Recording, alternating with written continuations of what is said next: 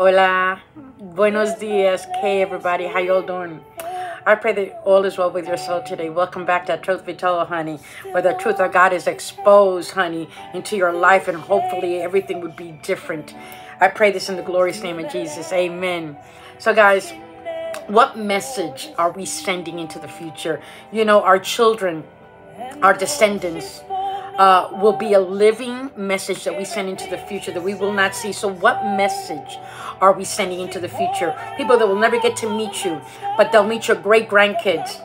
What message will you be sending through your through your heritage, through your bloodline into the future. Because if you look at the way the world is today, honey, the, the people that send these messages of today didn't do what they were supposed to. We are supposed to teach our children the way they should go. And I've learned something uh, more than anything in these last three years in Bible college is the fact that uh, how we live our life is the biggest message you can ever send. We could speak it. There's a lot of people giving lip service to Jesus, honey, but they ain't living it. So one thing is to speak it, but you gotta live it. If you're gonna speak it, live it, or just live it.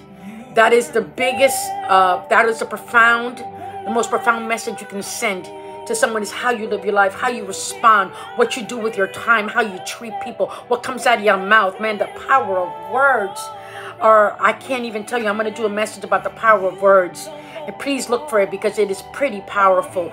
We just don't understand the power of words when we release and we align ourselves with what God says. That is the message we want to send into the future, guys. So stop and think that this seed you plant today is the harvest you're going to reap tomorrow. So whatever life you want to live tomorrow, please plant that seed today in your life so that you would so that you would reap the harvest uh, do not grow weary in doing good. I know that it's so hard. This, this, this walking with Jesus and and imitating Jesus, it's not easy, baby. It ain't for the faint of heart. Okay, it's easy to be lazy. It's easy to do what the world does, but it's hard to do what Jesus says because you know what? It's the right thing to do, and it's never easy to do the right thing, but it's always right to do the right thing.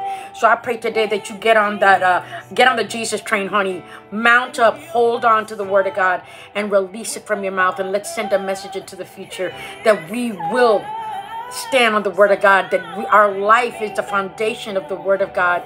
In Jesus' name, let other people see Jesus through your descendants, okay? I love you guys. I am on ooh, Forgiven Street ah, and uh, Live Avenue. Where you at? Holla.